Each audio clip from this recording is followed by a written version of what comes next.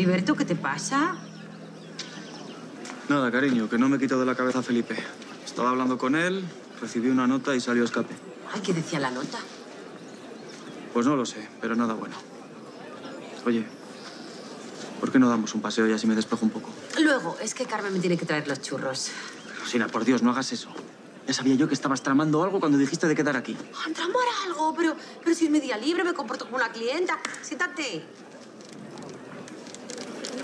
Te recuerdo que la idea de los turnos ha sido tuya. Sí, pero para limar asperezas. No para que vengas aquí a intentar humillar a doña Carmen. Humillar. Los clientes no humillan por pedir la merienda. ¿Vas a pedir chocolate con churros tú también? ¿Qué están haciendo la policía en nuestro portal? Habrán robado a otro vecino, ¿no? Robo no sé, pero ahora que lo dices, en el rellano me he encontrado con Genoveva y la quesada. Y la quesada iba despeluchada con lo presumida que es ella. ¿Y no le has preguntado? Estás perdiendo las buenas costumbres. De eso nada. Les he preguntado por qué no se han dignado a saludarme siquiera. Y la muchacha llevaba además el vestido como desgarrado. No te ha dicho nada, ¿no?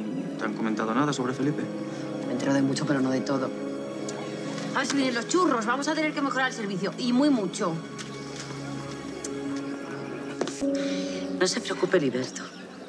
Que Rosina tiene todo el derecho del mundo a sentarse aquí a merendar en su día libre.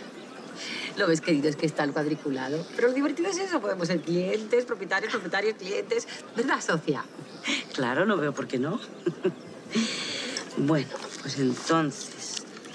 Dos chocolatitos, una de churritos.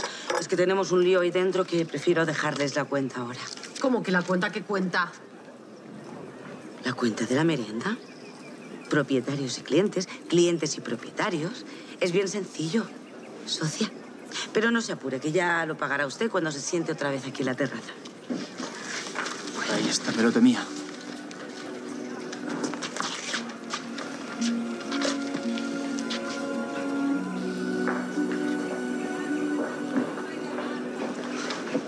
Jacinto, ¿por qué se llevan detenido a Felipe?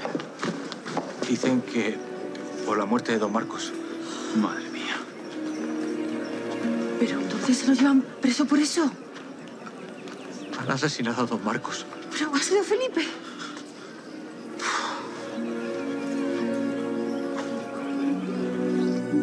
Estaba con don Marcos en una reunión de trabajo, de lo más normal, plácida incluso. Ni una palabra más alta que otra.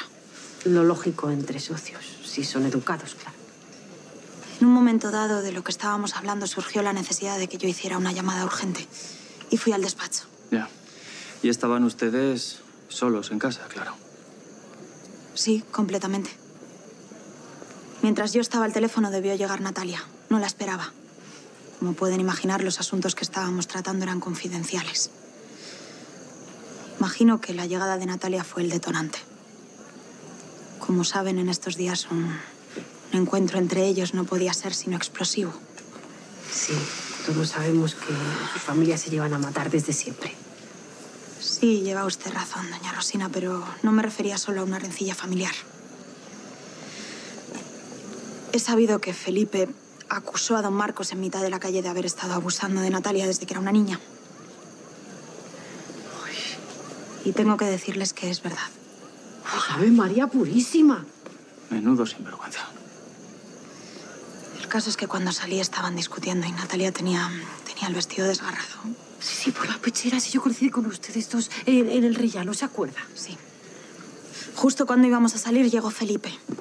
Y se encontró con toda la escena. Natalia estaba fuera de sí y no paraba de acusar a, a Marcos de haber intentado violarla. Así que, lógicamente, Felipe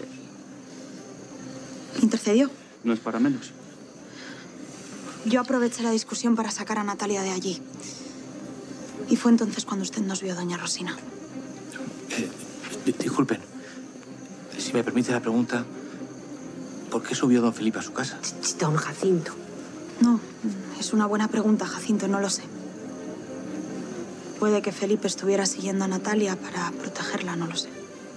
Pues me van a disculpar, pero yo veo incapaz a don Felipe de matar a don Marcos así como así. Es que es incapaz, Jacinto. Yo tampoco quiero acusar a nadie, pero Marcos está muerto. Ay, Dios. Ya bajará el cuerpo.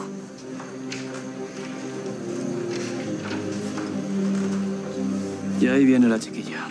Pues menudo momento para volver. ¿Quién se lo va a decir? Creo que me corresponde a mí.